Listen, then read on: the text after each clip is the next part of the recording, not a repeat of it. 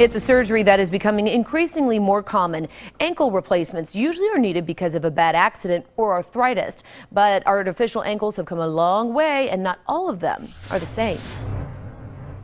David Sander believes he is a walking medical marvel. It's really a miracle. The miracle is that he's walking at all after he slipped on an icy city sidewalk in the middle of winter. I lifted up my leg and my foot was backwards, and I said to myself, Oh my God. After his initial surgery, David knew it would eventually come to a replacement. His cartilage was gone, leaving him with painful, debilitating arthritis. But he worried that failure rates were high for artificial ankles. When you're reaching that percentage of failure, you're, you're really taking a risk. Now, David's new ankle is a step up from earlier versions. The bone is going to be loaded along uh, a curved surface, the curved surface of the bone, just as a normal ankle is loaded. Dr. Jonathan DeLand helped design what is now the version that most mimics what comes naturally.